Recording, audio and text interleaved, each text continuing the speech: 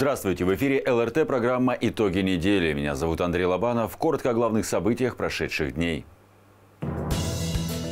Все знают номер 112 и все вопросы, связанные э, со скорой, э, с каким-то недомоганием.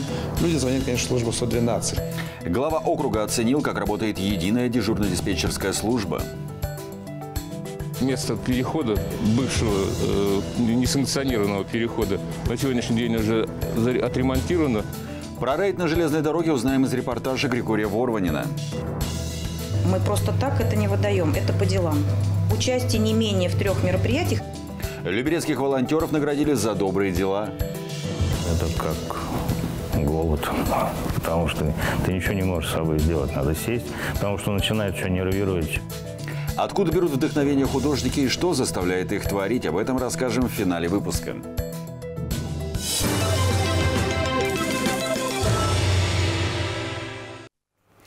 А теперь подробнее об этих и других новостях. Чудеса случаются не только в новогоднюю ночь. Несколько лет сотни обманутых дольщиков жилого комплекса Томилина ждали, когда смогут заехать в свои квартиры. И этот момент наконец настал. 420 семей получили заветные ключи. Со счастливыми новоселами пообщался мой коллега Григорий Ворванин. Спасибо. Строили, строили и, наконец, построили. Ура!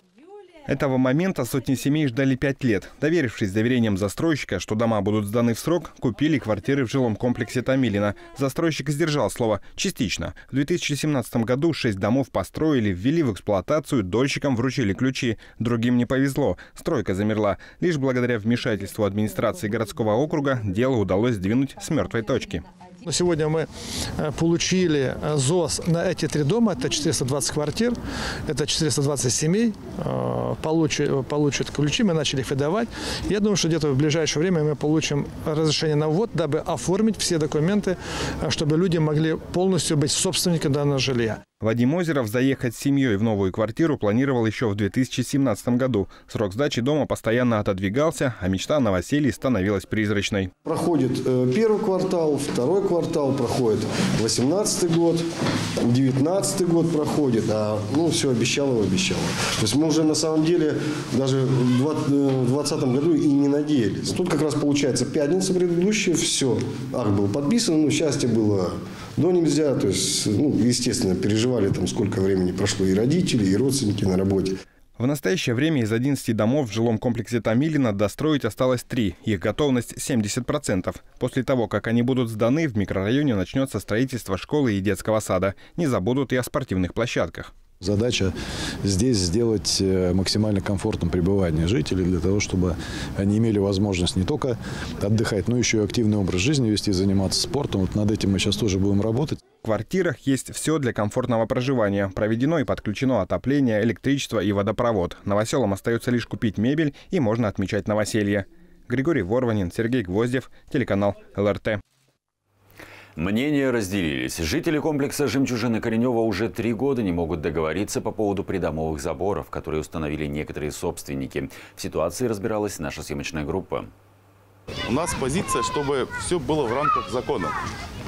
Закон говорит о том, чтобы поставить, что-то поставить или что-то убрать, нужно собрание собственников жилья. Предмет дискуссии – эти ограждения. Собственники таунхаусов, разбившие полисадники возле своих домов, говорят, комплекс находится в лесу и заборы – дополнительная защита от диких животных и бродячих собак. Выходишь ты сразу на улицу, получаешь, то есть ни, у тебя нет ни подъезда, ничего. У меня маленький ребенок, просто ты вот один раз собака напугала до полусмерти, как говорится. Когда мы устанавливали забор, да, мы знали, что, э, наверное, это не совсем законно, да, но понимали, что большая часть, ну, реально, объективно, большая часть поселка за. Логика тех, кто против наличия подобных ограждений, тоже понятна. Некоторые заборы мешают проходу жителей и специалистов коммунальных служб. Вот сзади меня территория совершенно заброшенная, то есть здесь никогда никто не убирается, никогда ничего не делает, это весь мой вид из окна. Есть э, совершенно нормальная процедура, то есть обратиться, чтобы нам разработали концепцию нового проекта благоустройства, чтобы там была концепция каких-то, ну, какого-то вида заборчиков невысоких, да, а, или там зеленых а, насаждений, и проголосовать за это всем корпусам.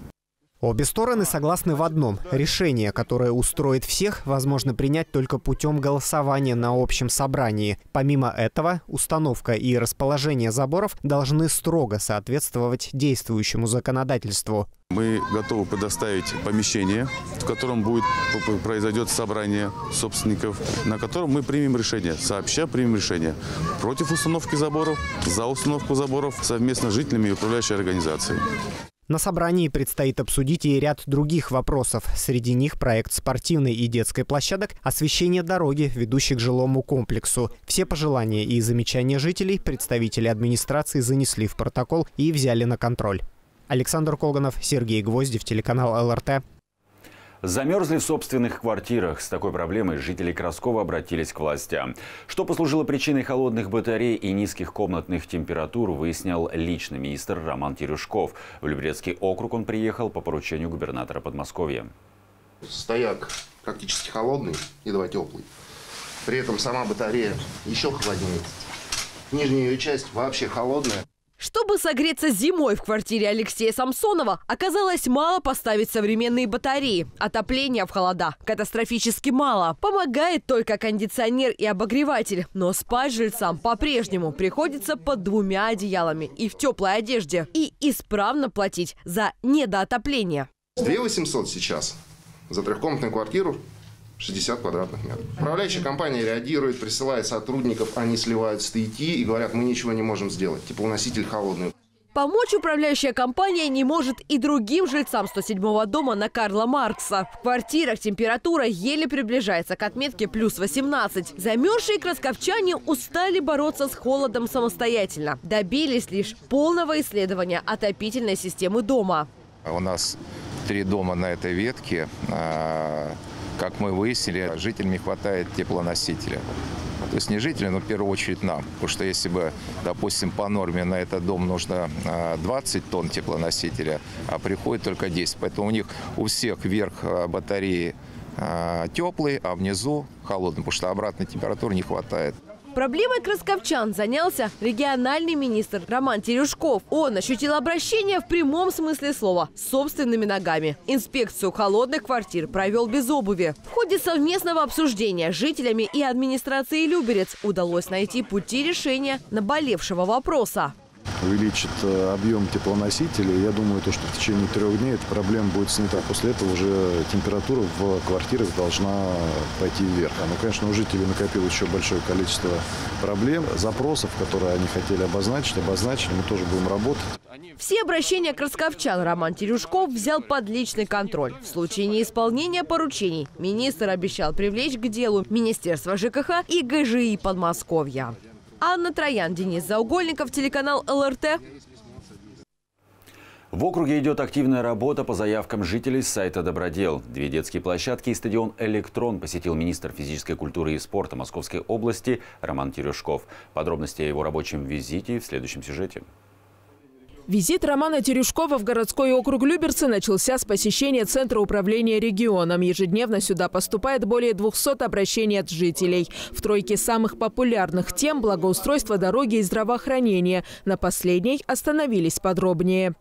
У нас создана группа людей, э, так скажем, наш центр такой, который обзванивает вместе с социальной защитой 65+, у нас таких 43 тысячи человек, а, значит, мы уже всех обзвонили. А из 43 тысячи человек сколько, какому количеству человек потребовалось? 316 потребовалось. То есть, которые у вас находятся на карандаше постоянно? 316 помощь, волонтеры им оказали.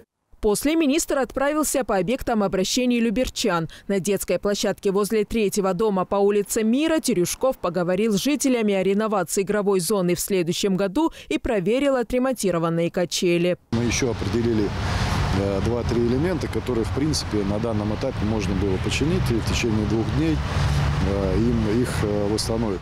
Следующая остановка – стадион «Электрон» в Краскове. Этому спортивному объекту, где выросло несколько поколений футболистов уже полвека. Время внесло свои изменения, и комплекс нуждается в обновлении. С просьбой включить стадион в программу «Спорт Подмосковья» представители спорткомитета городского округа Люберцы обратились в Министерство Московской области. В конце 2019 года, в 2020 разработали проектно-сметную документацию на капитальный ремонт как раз вот нашего объекта, где мы сейчас находимся. Проект предусматривает реконструкцию трибун, строительство уличных утепленных раздевалок с душевыми санузлами, а также обустройство беговой дорожки. По словам министра спорта, реализация программы начнется в 2022 году. Сто процентов этот объект стоит в плане по капитальному ремонту. Я думаю, за полтора-за два месяца мы полностью справимся, только нужно будет э, посмотреть так, чтобы и спортивная инфраструктура в момент проведения капитального ремонта была задействована. На футбольном поле играли дети, играли команды. Последний пункт объезда – игровая зона на улице Карла Маркса. Жители обратились с просьбой установить на площадке спортивное оборудование. По желанию присоединилась и восьмилетняя рекордсменка мира по подтягиваниям на турнике Ксения Лукина. Она тоже попросила чтобы на детской площадке, на которой мы находимся, появились э, турники, брусья, и она могла заниматься своим любимым видом спорта, ну и все жители близлежащих домов тоже. Просьба услышана. Спортивные тренажеры пообещали установить весной следующего года. Такие рабочие визиты представителей Министерства Московской области проходят по поручению губернатора столичного региона Андрея Воробьева. Луиза Игязарян, Александр Колганов, Денис Заугольников и Петр Пономаренко. Телеканал ЛРТ. Полторы тысячи в сутки. Именно столько звонков в среднем поступает в единую дежурно-диспетчерскую службу 112. В нашем округе она организована в 2015 году. За это время помощь в самых разных вопросах получили сотни тысяч люберчан. Глава городского округа Владимир Ужицкий оценил работу службы в условиях пандемии коронавируса. Телефоны в этом помещении практически не замолкают. Каждую минуту на номер 112 поступают звонки. Пиковая нагрузка, как правило, приходится на конец рабочего дня и выходные. С весны 2020 года, когда был объявлен режим повышенной готовности, количество обращений увеличилось. Да и сейчас в среднем составляет полторы тысячи в сутки. При этом около 80% от всего количества так или иначе связаны с подозрением на коронавирус. У нас предусмотрены возможности по усилению дежурных смен и по увеличению количества операторов в составе дежурных смен до 8 человек. Соответственно, мы оперативно реагируем на изменения в обстановке и усиливаем смены по необходимости для того, чтобы своевременно принимать и обрабатывать вызовы, поступающие от жителей городского округа. В службе 112 городского округа Люберцы организованы 4 смены, в каждой по 7 операторов. Здесь они не только работают в комфортных условиях, предусмотрены и комнаты отдыха. В этом убедился глава городского округа. Также Владимир Ружицкий узнал тонкости работы службы 112. Поставив правильный адрес, мы можем эту программу, мы можем карточку происшествия передать в любой район Московской области, в любую оперативную службу. В течение нескольких секунд они видят и слышат нас голосом и видят все, что написано в карточке. Этот же принцип работает и в обратном направлении. Также оператор службы 112 может передать вызов диспетчеру подстанции скорой медицинской помощи. Все знают номер 112, и все вопросы, связанные э, со скорой, э, с каким-то недомоганием, люди звонят, конечно, в службу 112. Когда человек звонит э, в службу 112, то, понятно, он звонит не от того, что ему делать нечего, а от того, что у него какая-то проблема.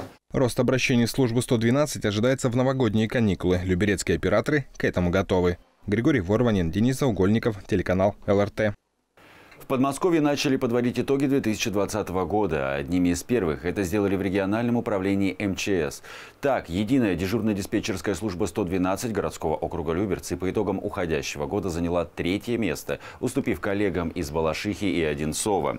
Как отметил руководитель Люберецкой службы 112 Виталий Богданов, с недавнего времени работа единых дежурно-диспетчерских служб ведется в новом формате. На базе ЕДДС создаются центры гражданской защиты. Службы 112 в Балашихе и Одинцово Одинцова уже организовали подобные центры. Это и позволило им занять первое и второе места соответственно. Чтобы вернуть лидерство, Центр гражданской защиты будет создан и на базе ЕДДС в Люберцах.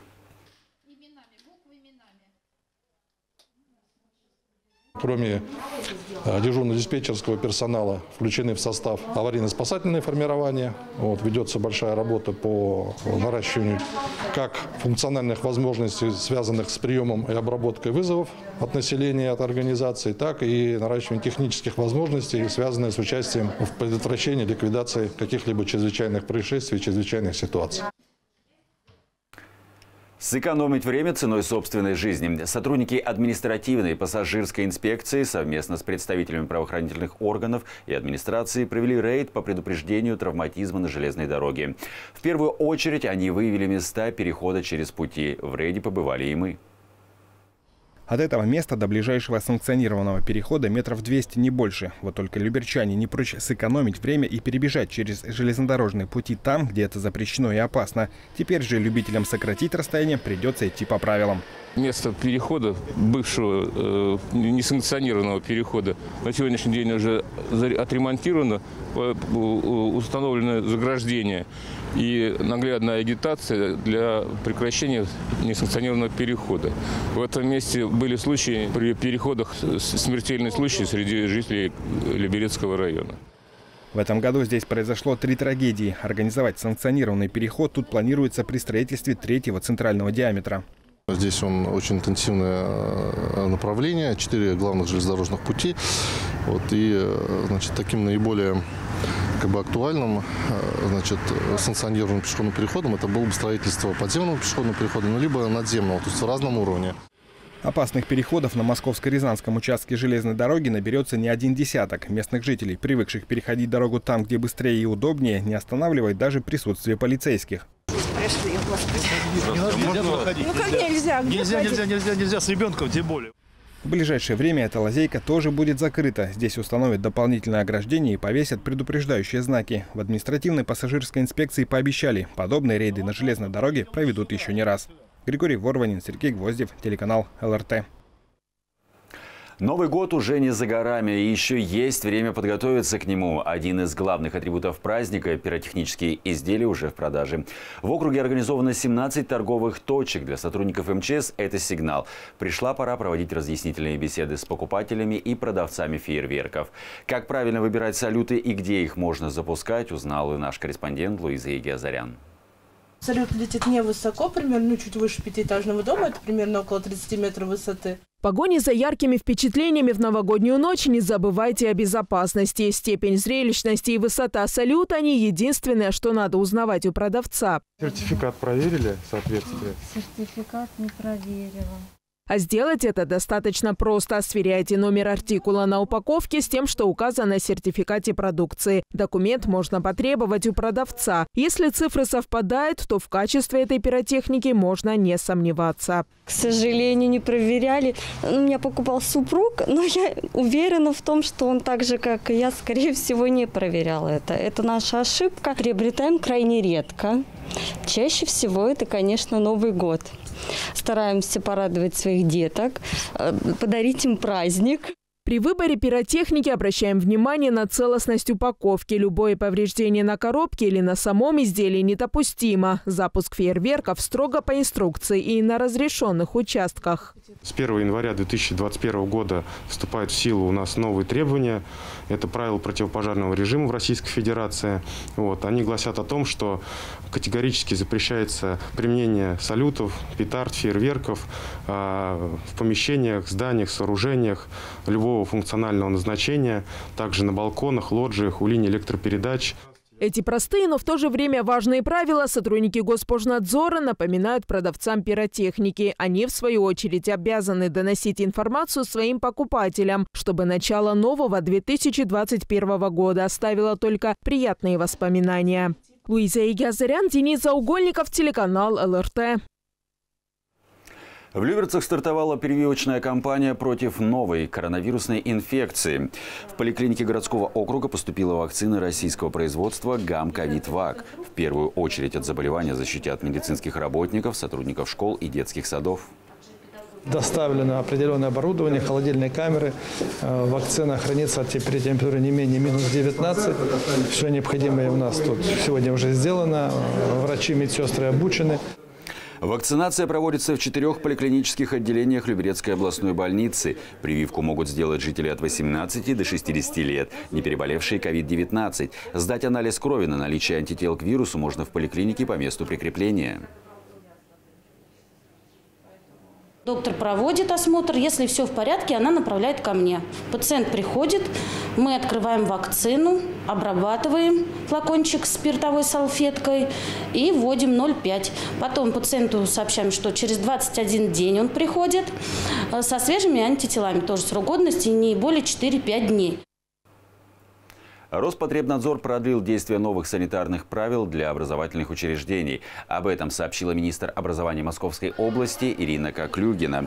Школы, детские сады, кружки, секции, колледжи и вузы продолжат работать с соблюдением мер безопасности до 1 января 2022 года.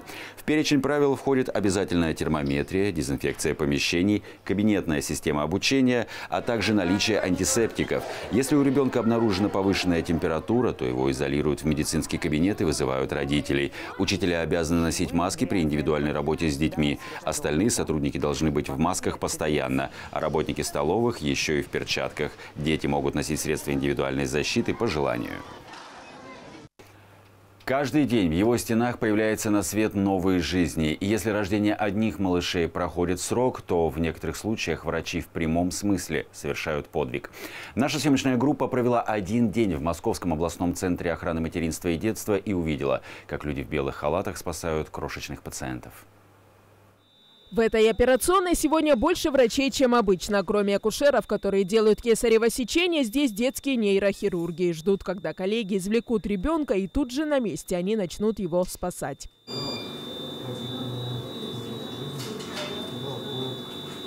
У малышки врожденный порог развития. Без помощи медиков она не сможет сделать первый вдох. Сложность заключается в том, что ребенок недоношенный и весит всего 600 граммов. С подобными случаями команда Люберецкого роддома уже сталкивалась. Спасать таких детей для них не впервой. Мы убираем а, жидкость, создаем возможность для открытия легких и дальше уже подключается аппарат искусственной вентиляции легких. В нашем роддоме мы пролечили уже 5 или 6 детей с такой патологией за последние два года. Ребенка перевозят в отделение интенсивной терапии. Здесь он проведет первую неделю своей жизни. Температура в кювезе 36,7, влажность 85%. В таких условиях новорожденный чувствует себя как в утробе матери. Состояние ребеночка стабильное, он не на жестких параметрах ИВЛ. Потихонечку мы его начали инфузионная терапия, антибактериальная терапия. Потом мы его на транспортном, э, в транспортном кювезе на реанимобиле перевозим в детскую больницу. Рядом с нами корпус – это второй этап выхаживания. В надежных и заботливых руках не только малыши, но и мамы. Название центра говорит само за себя. Здесь стоят на страже женского здоровья. Созданы все условия для комфортного пребывания пациенток. Наше отделение э, родильное, оно является как бы авангардом всего родильного дома, да, и поэтому вся ответственность в большей степени, естественно, ложится на нас. Последние 10-15 лет э, в нашем отделении родильном организованы так называемые родильные блоки, э, и женщина рожает э, одна в специально отведенном для этого блоке. Персонал наш высокопрофессиональный, акушерки и врачи уже по много лет работают, и поэтому свое дело знает очень хорошо. Виктория Лукьянова убедилась в этом лично. Послушав совета подруги, пришла за первенцем в Люберецкий роддом. О своем выборе не пожалела и обещает вернуться сюда снова. Врачи ко мне подходили и помогали, показывали, как правильно дышать, как правильно себя вести. Я очень боялась потому, рожать, потому что первый раз не знаешь, как это все происходит. И, ну, оказалось, что моя боязнь просто была зря на самом деле. А для Асель Жанкуловой страх перед первыми родами уже пройденный этап. Она мама двух сыновей, сейчас в ожидании дочки. Появление на свет своих детей доверяет только сотрудникам Люберецкого роддома. Я и вообще не переживаю. Врачи очень хорошо смотрят. Обслуживание все хорошее. Жду нетерпения. Счастливая мама. В этом году Люберецкий роддом выпустил более 4 тысяч таких счастливых мам. Сюда приезжают пациентки не только из Люберец. Это учреждение одно из немногих в нашей стране, где готовы помочь в любой ситуации. У нас э, непростой родильный дом, он уникальный. Здесь концентрируется самая тяжелая патология, которая касается и беременных женщин, и в особенности, которая касается маленьких наших пациентов, новорожденных детей. Надеюсь, что мы никогда не подведем наших женщин, и мы, на, мои доктора выйдут из любой тяжелой ситуации. В этом я уже просто уверена. Луиза Игиазарян, Сергей Гвоздев, телеканал ЛРТ. 7 декабря – День любителей поспать. Праздник, конечно, неофициальный и введен совсем недавно, но пользуется популярностью среди лежебок. О людях, чьи любимые предметы дома – одеяло и подушка – наш следующий сюжет.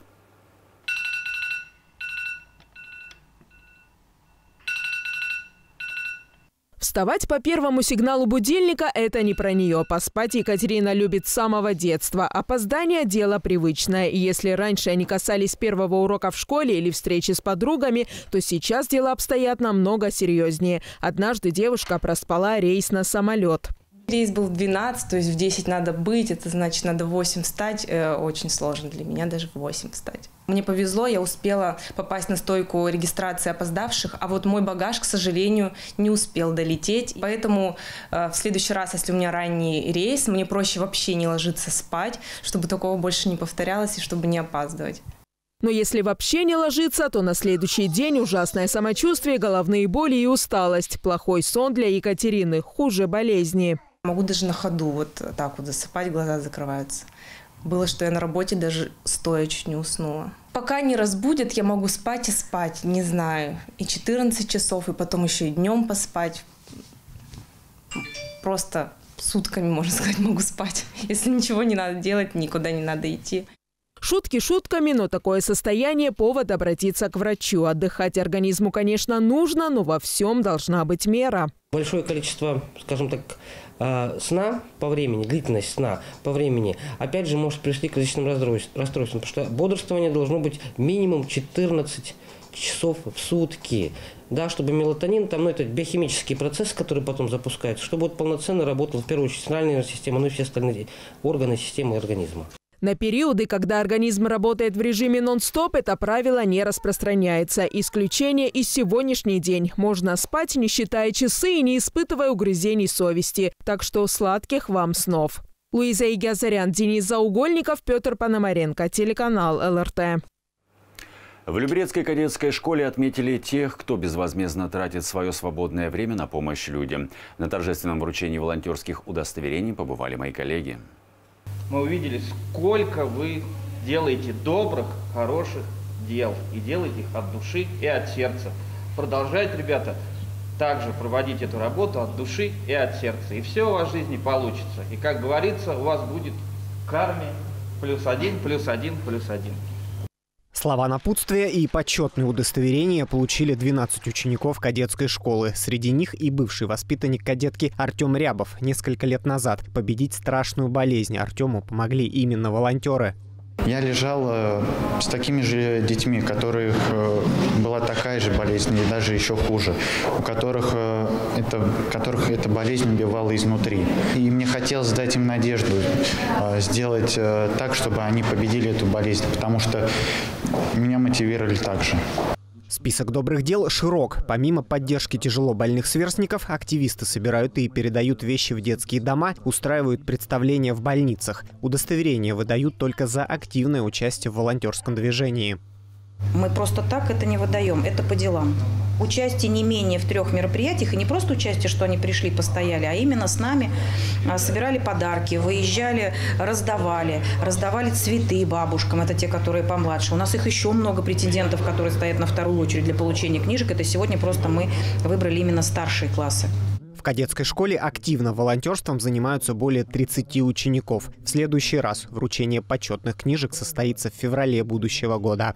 Александр Колганов, Денис Заугольников, телеканал ЛРТ. Осознанное потребление и забота об окружающей среде. В Подмосковье работает предприятие полного цикла утилизации отходов и лома черных и цветных металлов. Ежегодно втор-алюмин-продукт перерабатывает более 380 тысяч вторсырья. Место, где техника обретает вторую жизнь, посетил Александр Колганов.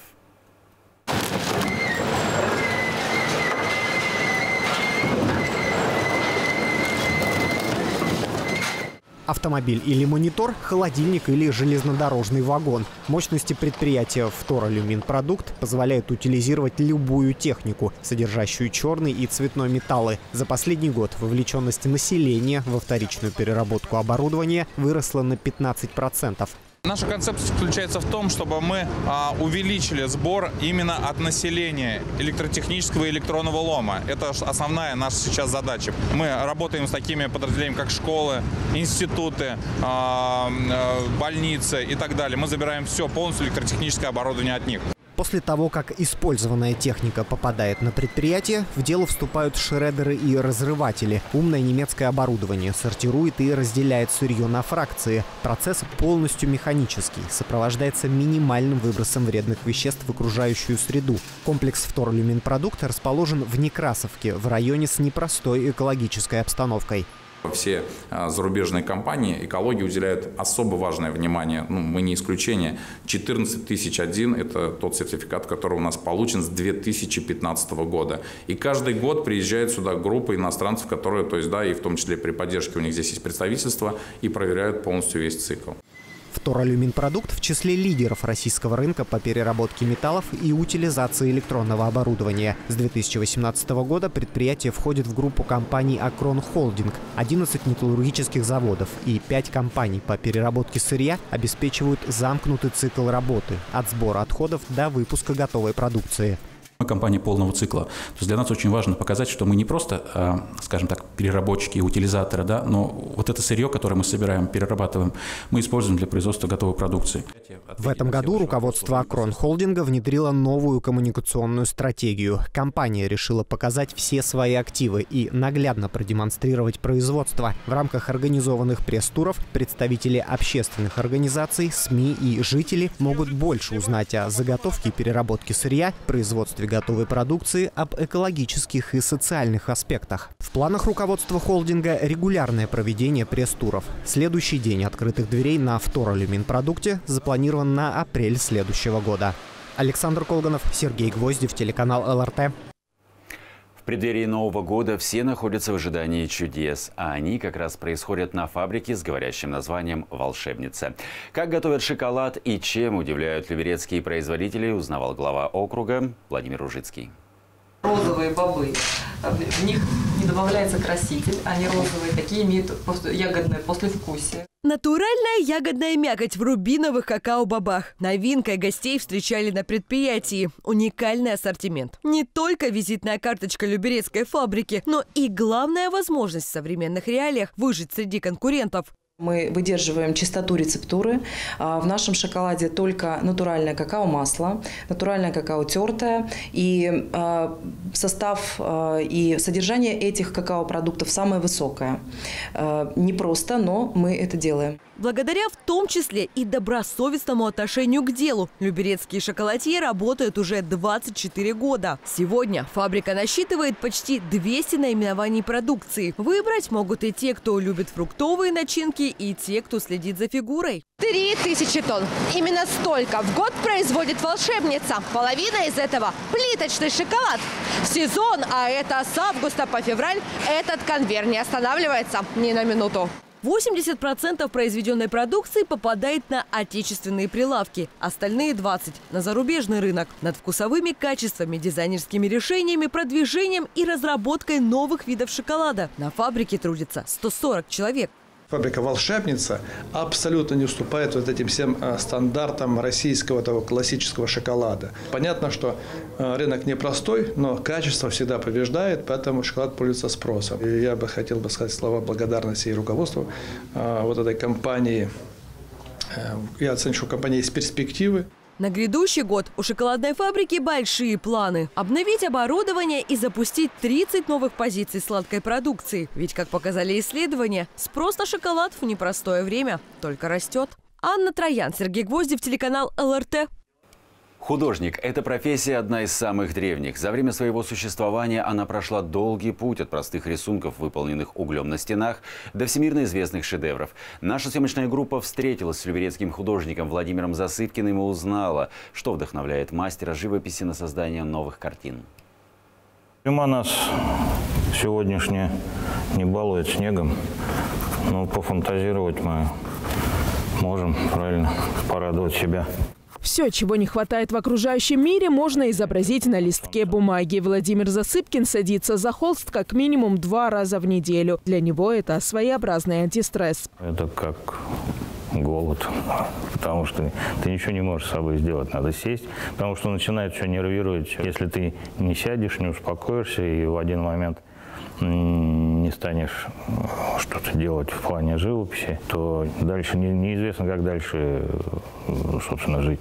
Рисует Владимир Засыпкин, сколько себя помнит. Впервые взял в руки кисточку и краски в детском саду. Тогда он больше всего любил изображать солдатиков и военную технику. Эта тема отразилась и на его взрослых работах. Вот картина, которую художник называет своей гордостью. Над воссозданием исторического момента прохождения армии Кутузова через Люберцы мастер работал три года. Я сумел решить две своих задачи, которые я ставил. Зафиксировать вот этот исторический момент, когда Кутузов проходил эту армия проходила по Рязанской дороге. Я показал храм, который снесли, который, к сожалению, утрачен навсегда. Таким вот образом я его как бы подарил городу.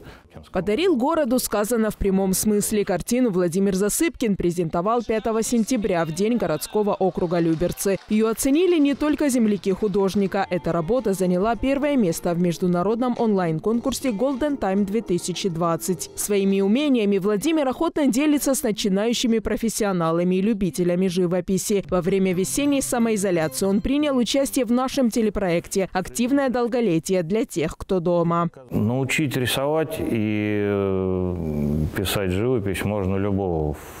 Не факт, что он станет э, дальше этим заниматься и полюбит это. Но научить можно так же, как и любому другому ремеслу.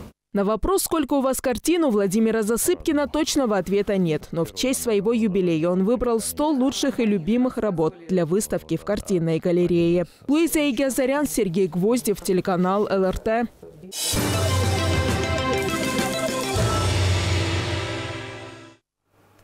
А на этом выпуск завершен. Еще больше подробностей можете найти на нашем сайте lrt.tv или в социальных сетях. До свидания.